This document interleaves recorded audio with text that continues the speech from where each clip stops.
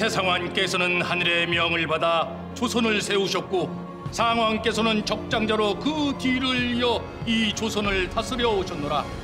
그러다 오늘에 이르러 상왕께서 나를 건국에 공이 있다는 이유로 세자로 삼으시고 즉위를 명하는 교지를 내리시니 두려운 마음으로 이를 받들어 내가 이제 국왕의 자리에 오르노라.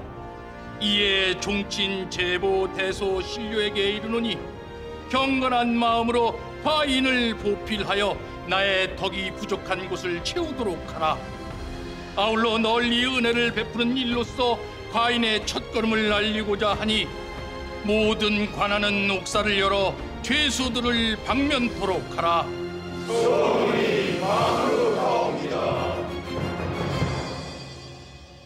사실 죄인은 나요. 전하, 그게 어인 말씀이시옵니까? 망각하옵니다. 거두어 주시옵소서.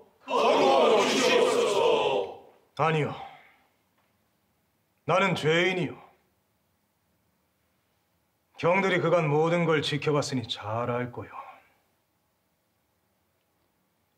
비록 살기 위한 몸부림이었다고 해도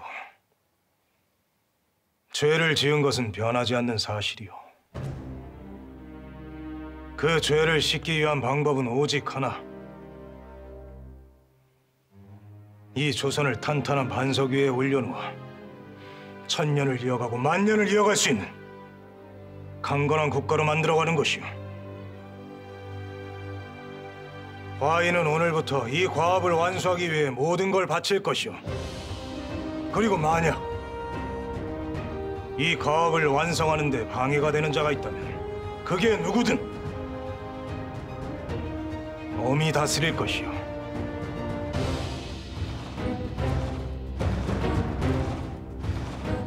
자신이 세운 공을 믿고 왕의 권능을 침해하려는 자가 있거나 신하의 본분을 망각하고 국왕의 지위를 노리는 자가 있다면 절대로 용서치 않을 것이요.